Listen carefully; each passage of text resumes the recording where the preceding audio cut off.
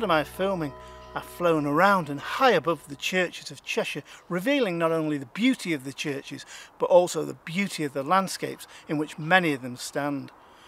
Well, today I'd like you to join me as I take you on a grand tour of these churches and highlight the towers of Cheshire churches.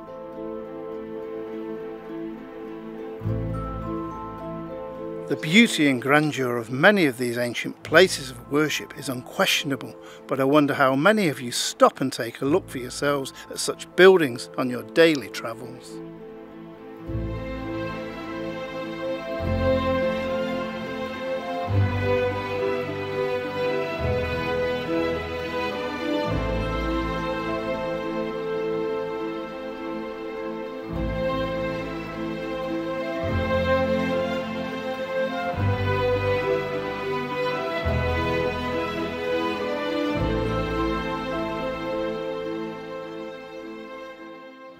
I'm up here in the tower that was constructed in 1826 and we find three bronze bells hanging, all dated and inscribed. The first bell reads, God save our church and dated to 1635. The second bell reads, God save the king and dated to 1663. And the third bell reads, Gloria in Excelsis Deo, 1663. Now the two bells that are dated to 1663 were cast by John Scott of Wigan. However, he couldn't have cast the earlier bell because he didn't start casting until 1637.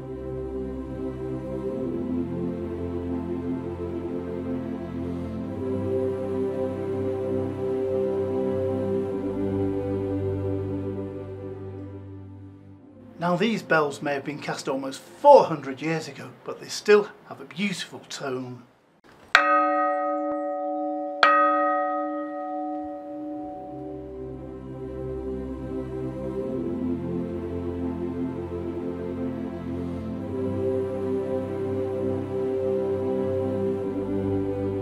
Today, the church here in Swettenham, Cheshire is dedicated to St Peter. Swettenham is situated in the Dane Valley just five miles away from nearby Congleton. It was in the early 1700s that the timber building of the late 13th century was declared as dangerous and well beyond repair. With little thought of the heritage of the building, the church was encased in brickwork in 1720.